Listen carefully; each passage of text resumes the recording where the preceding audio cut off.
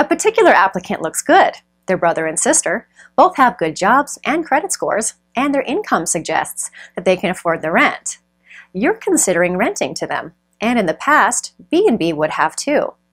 However, that was before they ran criminal background checks.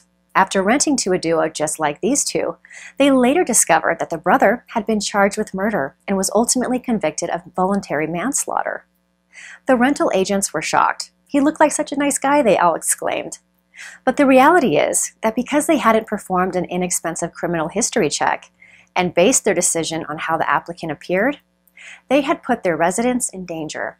It was simple. There was no way they would ever rent to him. B&B adjusted their standards. They now run criminal background checks on all applicants, a process they describe as essential.